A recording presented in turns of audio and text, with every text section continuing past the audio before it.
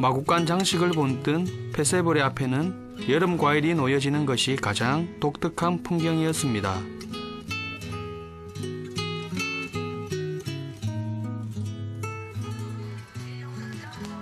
인구의 90%가 가톨릭 신자인 파라과이에서는 한 해의 마지막 날이 되면 집집마다 축포를 터뜨리는 것 외에도 해야 할 일이 있습니다.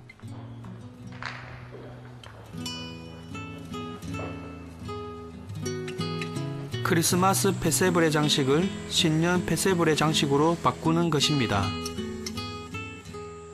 아기 예수가 태어난 마국간을 묘사한 페세브레는 파라과이의 전통입니다.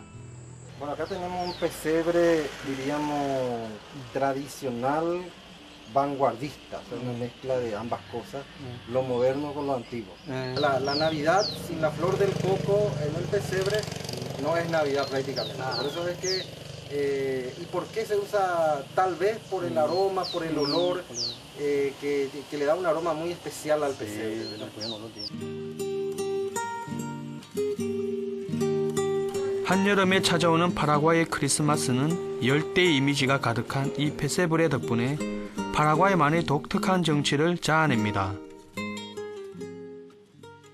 여기다가 이제 열대 과일, 열대 과일을 다 놓는답니다. 이 빠꾸리하고 여기 수박하고 지금 지금 제철에 나는 수박, 멜론, 파인애플 이러한 종류들의 이 과일도 넣고 여기 카라멜이라든지 단 거, 어, 단 음식도 놓는답니다. 그러면은 아이들이 그 다음날 와서 어, 그 음식들을 가져간다는 거죠. 그 아이들이 그 음식을 가져가는 이제 의미가 아기 예수가 와서 가져가는 의미와 같은 그런 의미를 가지고 있답니다.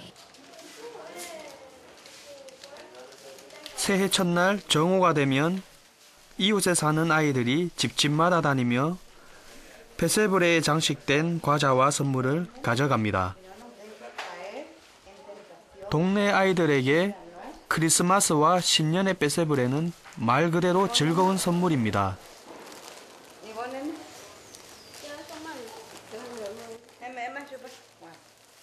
마을을 돌아다니다가 크리스마스와 신년 페세브레이 장식이 어떤 차이가 있는지 물었습니다.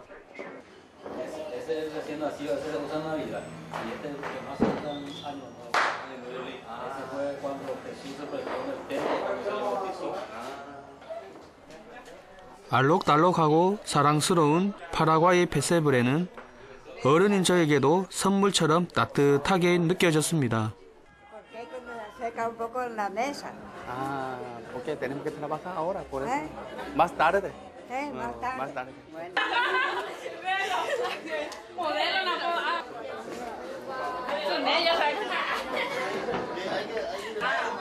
파라과이에서는 크리스마스와 한 해의 마지막 밤을 가족과 친척들이 함께 보내는 것이 전통이라고 합니다.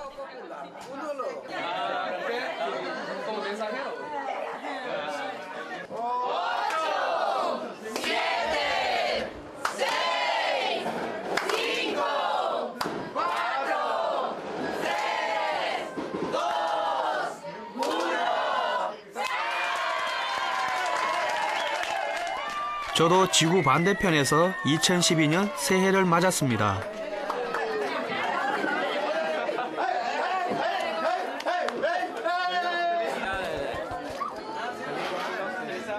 이렇게 진심으로 가족과 친척들이 서로를 축복하는 모습이 너무 보기가 좋았습니다.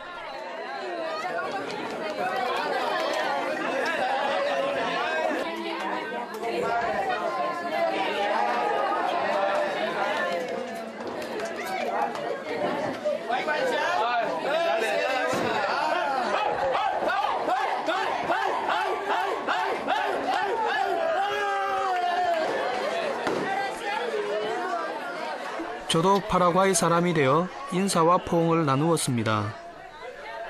그들의 인사법과 한여름의 새해가 낯설었지만 뜨거운 포옹을 통해 저도 한 가족이 된 듯 했습니다.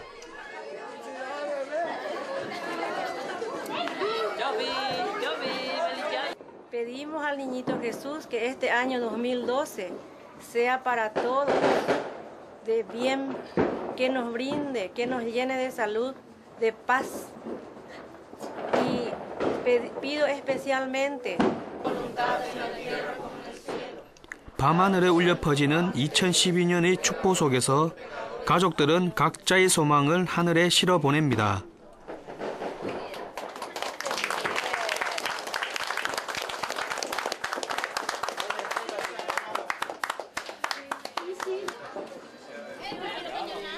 신년 기도가 끝나자마자 베세브레의 선물 나눠받기가 이어집니다.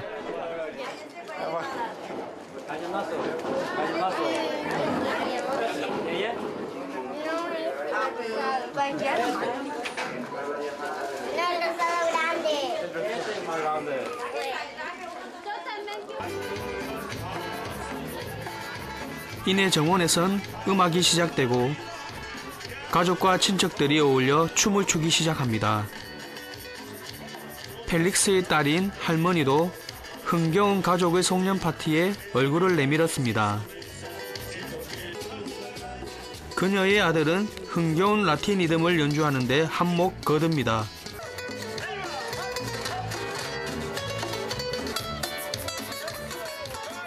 음악가의 가족답게 남녀노소 모두가 음악과 춤을 즐기고 있습니다.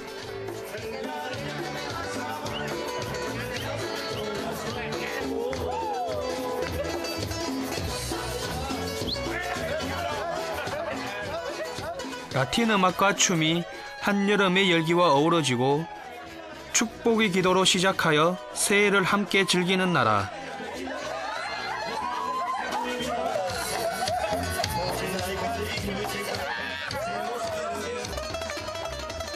남미의 심장, 파라과이에서 맞은 2012년의 소박하고도 흥겨운 풍경은 결코 잊지 못할 소중한 추억이 될 것입니다.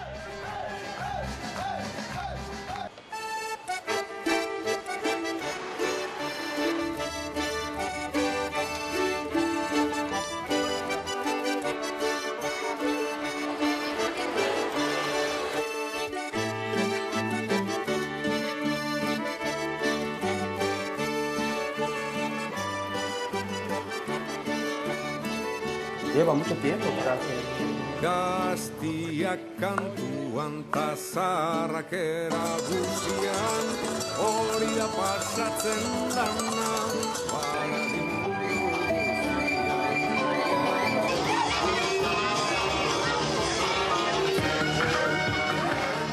Hamasei urterekin